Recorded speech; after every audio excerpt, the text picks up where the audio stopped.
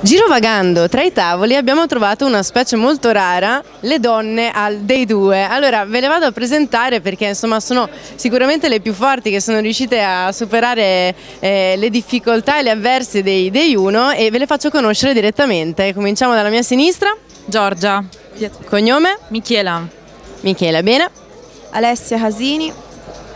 Irina, basta Irina perché il cognome è Monastirskaya. Ok, grazie. Monica Poggi.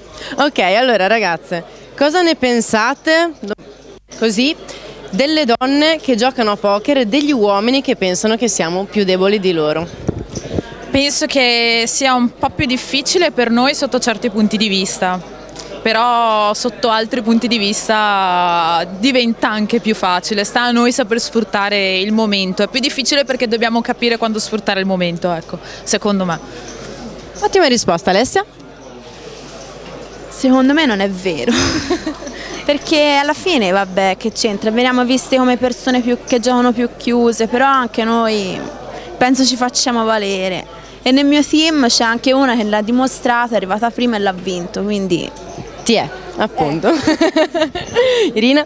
Eh, pure io penso che giocando anche con le donne e basta, i tornei, ho fatto caso che siamo molto, la maggior parte siamo molto chiuse e c'è una piccola cosa che gli uomini cercano sempre di fare questi piccoli bluff e mostrarli, ecco noi non perdoniamo queste cose, almeno io sono un po' permalosa, quindi una volta che mostri bluff, ecco. È finito. ok. Beh, eh, il fatto che ci sottovalutino penso che sia una cosa da, da sfruttare a nostro valore, a nostro favore, basta.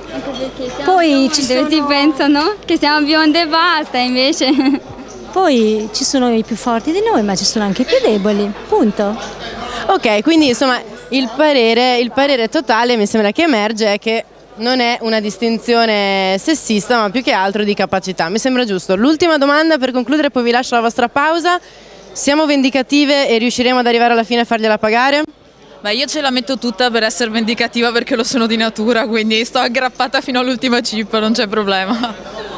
Io me la gioco. Se va bene, bene, se no esco e sono contento uguale.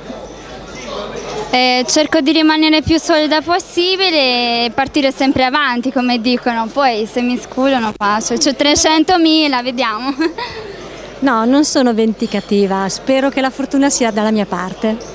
Ok, allora io vi ringrazio e vi, faccio, vi facciamo i nostri più sentiti in bocca al lupo. Vai, vai forte che vi voglio vedere. Esatto, vi voglio vedere al final table.